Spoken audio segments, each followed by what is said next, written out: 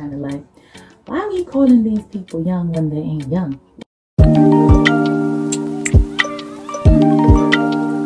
Hi guys, welcome back to my channel. It's your girl Lena and first I would like to say thanks guys. We a hundred subscribers. I'm so happy. I'm glad that you guys have been liking the looks, have been watching some of the videos. I have improved on the audio as you can see. So hopefully you'll be getting better quality content from now on. And today we're going to be doing something very different around. We're going to be doing a review. So the show that I will be reviewing today is Young, Famous, and African. You know, I love a good trashy reality show. Get into it because I had watched last season. And if you watch last season and this season, I feel like I'm watching two completely different storylines. It's like, you know, those Nigerian movies, like those have like a part one and a part two, and part one and part two had nothing to do with each other. This is how I felt like watching the series. Of like, why are we calling these people young when they ain't young? Right? Like, a lot of these people, some of them are famous, some of them are young, but all of them are African. Okay, start with the things that I did like about this season. Um, we definitely got a bigger budget. We could tell by the wigs and the outfits, but mostly by the wigs because, ma'am, season one. Ooh, ooh, season one was a struggle. But um, we got better styling. Favorite styles came from Lady Nakai um, and Boss Lady Zari. I really liked her outfits and the looks that she pulled off this season. Tani, like she served face. Her face was always beat. I really liked her makeup, but her and um, that is all I can say because the rest of it was kind of trash. The storylines were sort of like what?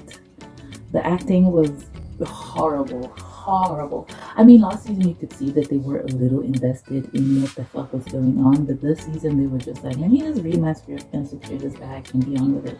You know, I just found it quite like a little cringy how Khanyi would always be like, whenever there's a debacle or fight, she would be like, We need to host a lunch party or a dinner party to resolve these issues. And then storylines were kind of wish-washy. I really, it was just kind of like, either you guys are making this up or you guys are secretly still besties and bitches.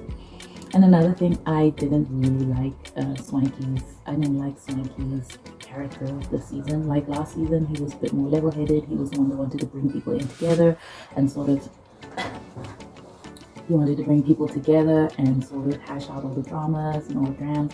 But this season, he was the one that was starting all the nonsense and the tomfoolery. I felt really bad for um, Luis.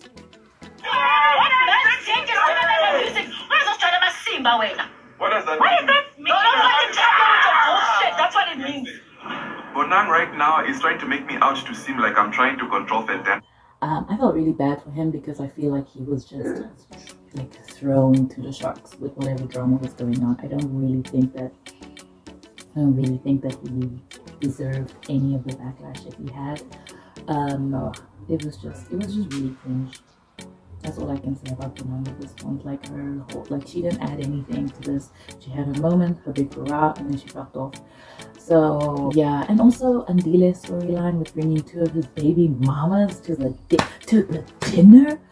I'm not married. Uh, who am I married I to? said someone who was married once. Oh. If you're a lady and you're in a relationship with someone, you can't ask another man to do stuff in your house. And that man being with someone else. Like ah ah, and like you're shocked that they're fighting and they're calling each other names and saying you cheated, you cheated. Like of course they are. But I must say, props to you for giving both your baby mama some jobs and some press. Like, like, isn't it weird how they both look like each other? Like, Nadia was kind of my favorite this season. I feel like she she asked the real questions. She asked what the people wanted to hear. Um, and I feel like she really played she really played her role this season. Um, the underrated person out of all of this is Kayleigh. I really liked Kayleigh this season. I feel like she was just cool, calm, keeping it classy, but you know what her opinion is. If you know not to fuck with her on certain topics, and she won't fuck with you. Fantana was Fantana and Swanky are kind of tied for my for my least favorite characters.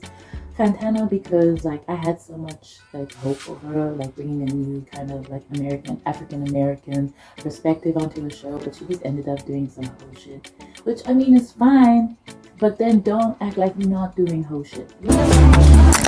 So Fantana just kind of looked like a dumb dumb. Swanky was just too problematic this season and just stirring the pot when it wasn't needed to be stirred, really. At the end of my review, please let me know if you guys liked the video or not and like give a thumbs up or not or if you liked all